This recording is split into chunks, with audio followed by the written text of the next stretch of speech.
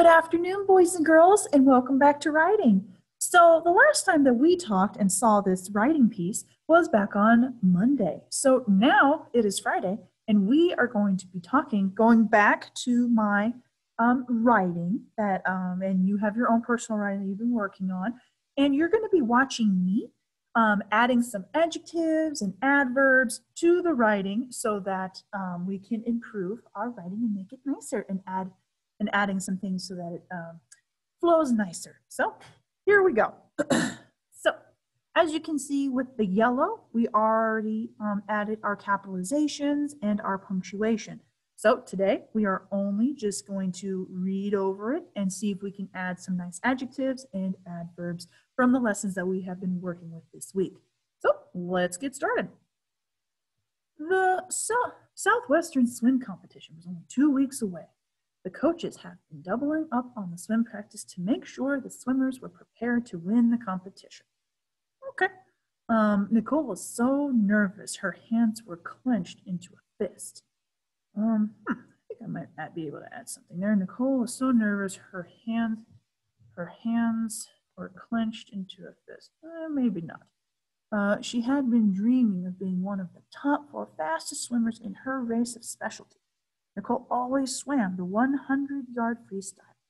100 yards of swimming is four laps. Every day. Um, well, instead of maybe, well, Yes, so every day in the hot afternoon, so just adding a few details here. So hot, I'm gonna have adjectives be the color, let's do the color red. All right, so adjectives are gonna be the red. All right, the swimmers would be timed how fast they could swim in their specialty events. Nicole would swim her heart out every time she would slam herself into the wall at the end of every set. Coaches would shout her times minute and five seconds, Whoop. minute and two seconds, minute and 10 seconds. Um, after she heard her times, her face would become hot, her teeth clenched, and her eyes welled up in tears. Nicole could not understand why she couldn't make her goal.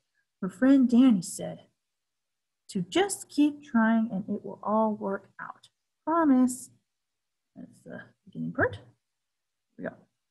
The day of the swim competition had finally arrived. Nicole's 100 freestyle race was next. She waited behind the diving block. Her heart was pounding faster and faster as the race before her was coming to an end. Um, her body was so nervous, her muscles were tight and stiff. She started stretching her arms by swinging them forward and backward like a windmill on a windy day. The race before hers had finally ended. Swimmers emerged out of the water. Ooh, maybe let's add something here. Uh, out of the crisp, crispy water, crispy, um, chilly water. Okay, so that's to be red. Okay. The first four swimmers who placed for the com, whoa, we're to check our spelling here for the competition. Competition received their medals. Nicole was next.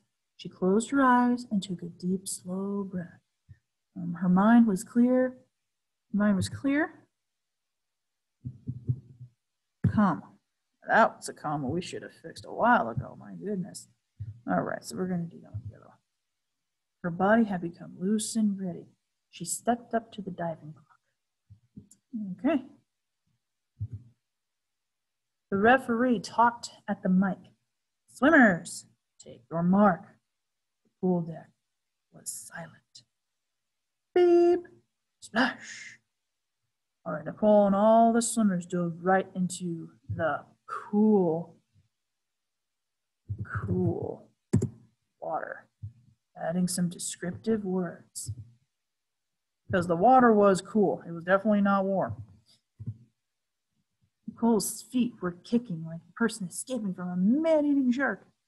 every stroke, Nicole pushed and pulled with all of her strength, looking from side to side, seeing her competitors matching her speed. The race was coming to an end fast. Nicole's muscles were aching and burning with how fast she was swimming. Slam! She grabbed the wall to finish her race. It was the moment of truth. What was her time? Nicole, lifting her head out of the water, out of the out of the cool.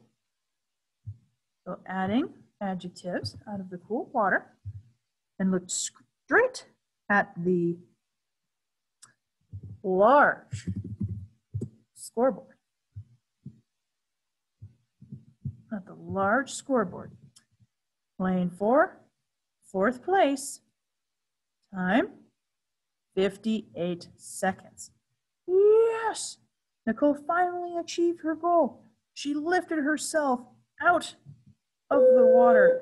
And, oh, hang on. Jones, if you are in the building, please come to the front office. Landon Jones, if you are in the building, please come to the front office. Okay. So, um, we're continuing. Yes, this class is still going on. All right. So, um, she lifted herself out of the water and was jumping and was jumping for joy while also trying to catch her heavy, heavy breath. Oop, I spelled heavy wrong. Let's see. Heavy breath. Her heavy breath from swimming so hard. As you can probably imagine, heavy breath. All right. Nicole realized no matter how hard challenges are, never give up and keep trying your best. All right. Well, um, so boys and girls, you are watching me add some extra details, not too much, but just a couple of extra details to make our writing a little bit, give us more visual to what we are reading. So this is exactly what you are going to be doing um, today. Today, you are going to add adjectives and adverbs to your writing. And you don't have to add um, adverbs because adverbs are a little tricky sometimes, and that's okay.